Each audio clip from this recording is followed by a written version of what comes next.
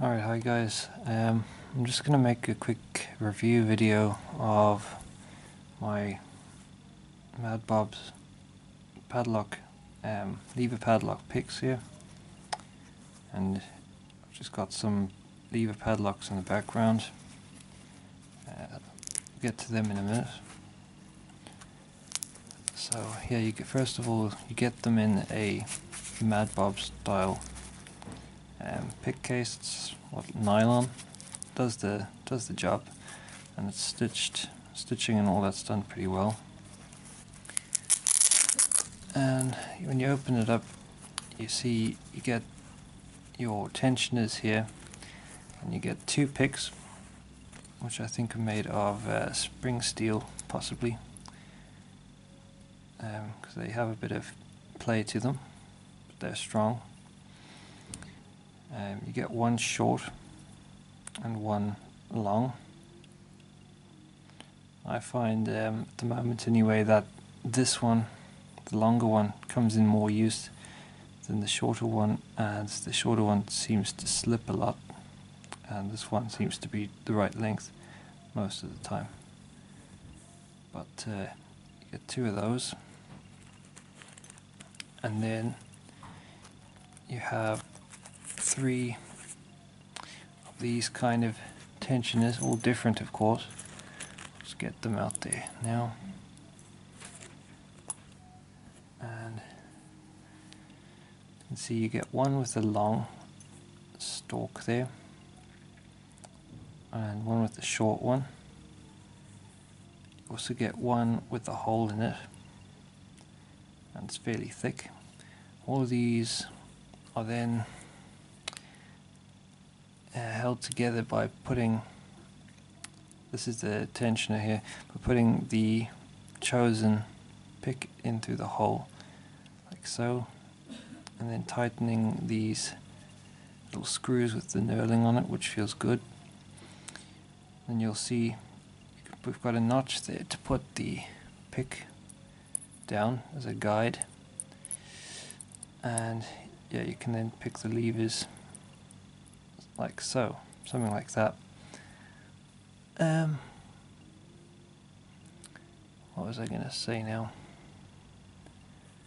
Uh, well, one, for one thing anyway, the material for these feels like uh, steel, stainless steel, and um, all good quality now just because they are strong, which they are doesn't mean they're not gonna bend because I've actually bent this one before I fixed it again.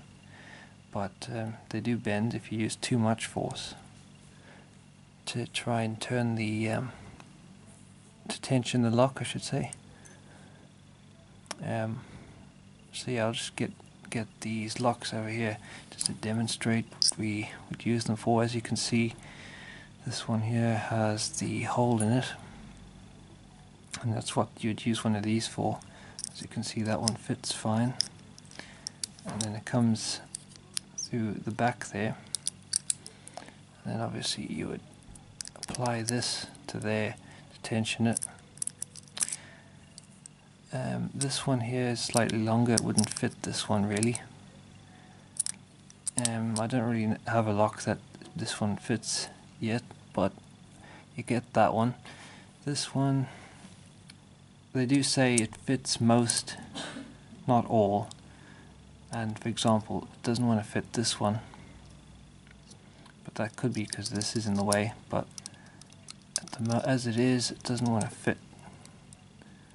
Well, never mind. I suppose it fits now. Typical. Right. Well, anyway, just bear in mind that these won't fit all locks. But I mean, it fits fits that one, fits this one, and it fits this one which is going to be the, one of the locks I'm going to pick not in this video but in the next one. Um, so yeah. Fairly good um, choice of picks. Um, something I just want to point out is the design of this tensioner. Um, personally now I would prefer if you had another one at least one of these, but slightly longer. Reason for that is I prefer. Um, I've gotten used to it now, but I prefer if you had a longer one, so you could just press down um, to add more torque to it.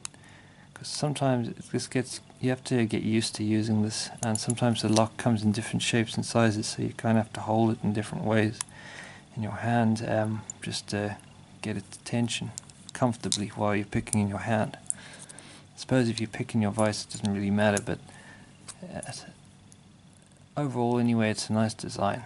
Uh, I do like it now.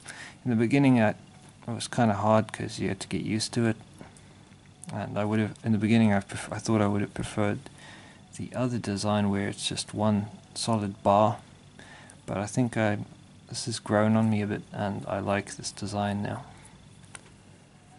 So yeah, you get these these pick wires, three different heads for the tensioner, and then the tensioner itself.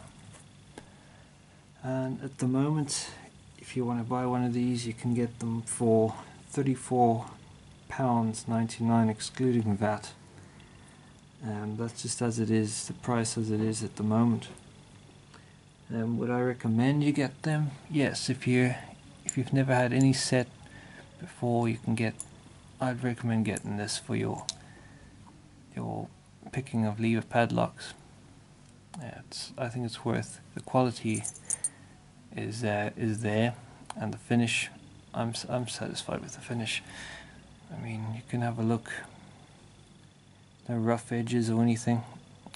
That's just, uh, I don't know, I suppose that's just a little bit of a machining problem there, but you can see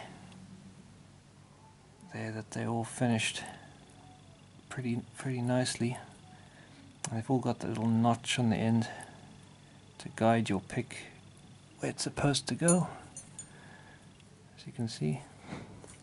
Minus this one of course, but it's not it's more of a convenience thing to have that on the end. So uh, yeah, I'd recommend it. It's good quality and does the job. Um, obviously not perfect, but nothing really is. So um, yeah, if you like what you see, then feel free to get these on Mad Bob's Lockpicks and yeah, thanks for watching. And bye for now.